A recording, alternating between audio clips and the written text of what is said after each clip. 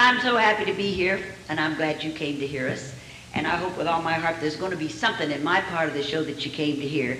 And I think, well, I had to second guess it all. But I guess there's really only one way to find out if I got, if I got anything in the show that you came to hear, and that's we're going to do them all. Can you stay out that late? Okay. You know, when you come out and you do a, a show like this, we've been off on a tour now, and when you go and play these places and you go in these towns, they get a chance now to get close enough to you to touch you and to talk to you, and it's kind of like one-on-one or nose-to-nose, you know. And boy, do they talk to you. You're not always crazy about everything they say. I had this one man come up. I wasn't, it was like at the beginning of the tour. And he says to me, you know, you wouldn't even begin to know how much money I have spent to hear you sing, and you have yet to sing one song that I paid to hear. but you can fix that. You can fix that because you do that with the requests. And if you're lucky enough to get invited back, what you do is you put whatever that song is that he wanted to hear, you put that in the show, and then, boy, howdy, you're buddies after that, you know. But I've had a thing that's been happening to me for about the last year and a half. People have been coming up to me and saying essentially the same thing.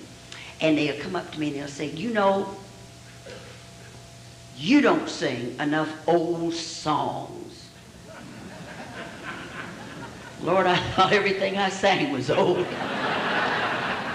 Well, let me tell you, they get mad, they come up and huff and puff, and they say this too, and then they turn on their heels and they walk off. They don't give you the one clue what it is they want to hear. And they everyone did the same thing. They just talked about old songs. So I didn't know what to do. I wrestled with it a while. Then I took it to Frank and I told him, I said, now this is my dilemma. And he says to me, I can't help you. But he says, I'll give you one strong suggestion. He says, why don't you or the two of us go back to the very beginning when you first started record for Capitol Records, because you had some old songs then. And that wasn't enough. Here's what he added to it. He says, now if you stop and think about it, before you started singing for Capitol Records, they didn't even know you were alive. But he was right. We did. We went back to the very beginning when I first started to sing for Capitol Records, and we found some beauties, I tell you. And we brought one of them with us tonight. If you're one of those people that wanted one of those old songs, I hope this is one of them, because if it's not, we got to go back to the drawing board. Come on, Frank, let's try. You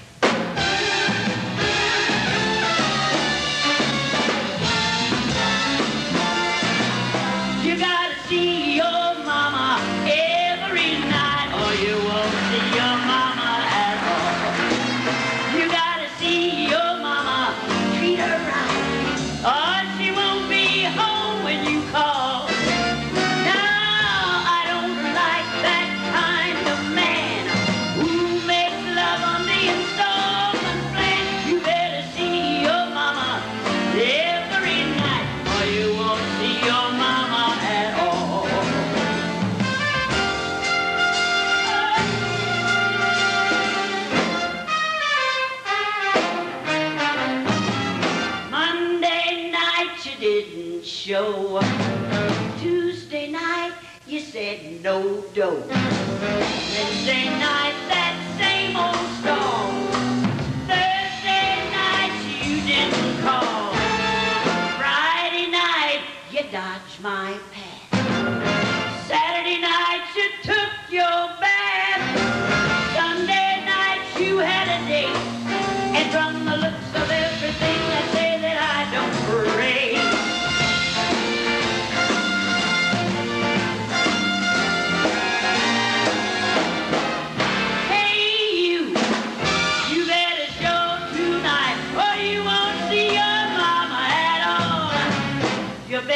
better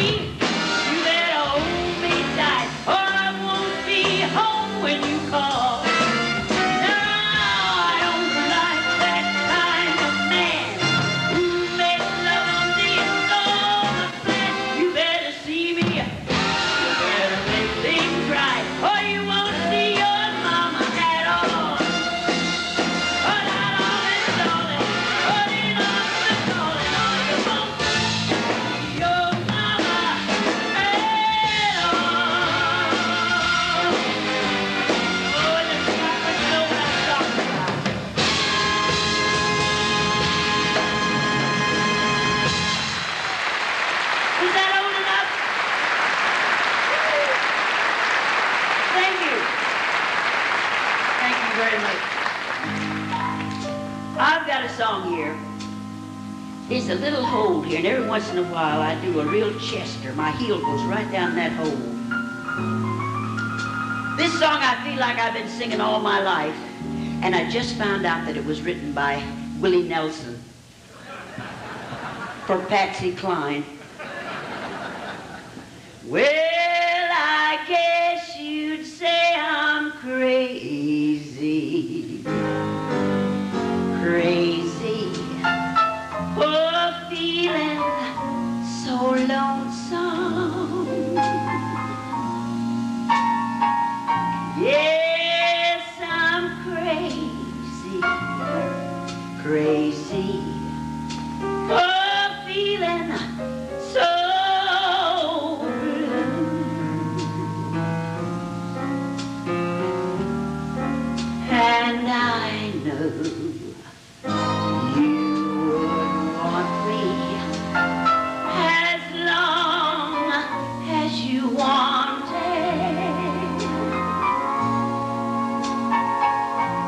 Then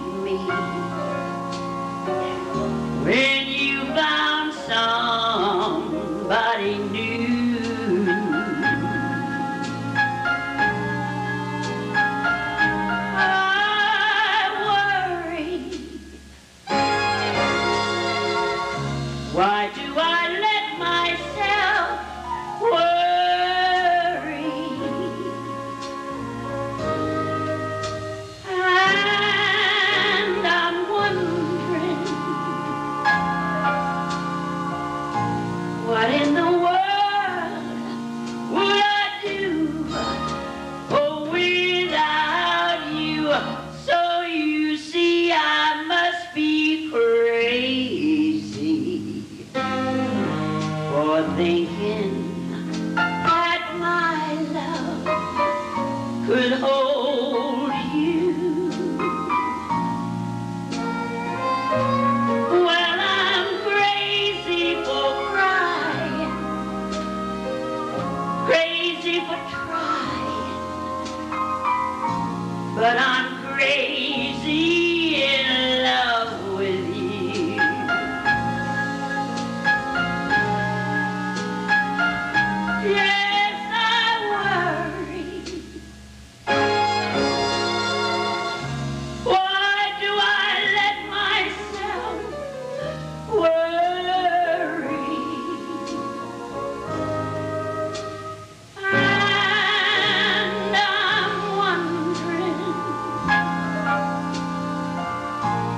what in the world would I do? Oh, without you, oh, oh, oh, I'm crazy for thinking that my love could hold